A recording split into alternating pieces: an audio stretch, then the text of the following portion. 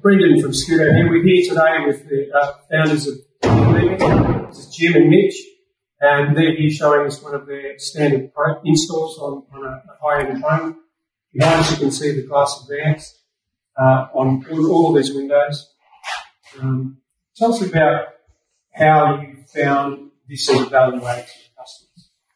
Uh, the most value is the amount of protection it provides these amazing window install package packages from the time they're installed. Windows are the first finished surface in the home that goes in, and they're in through the construction.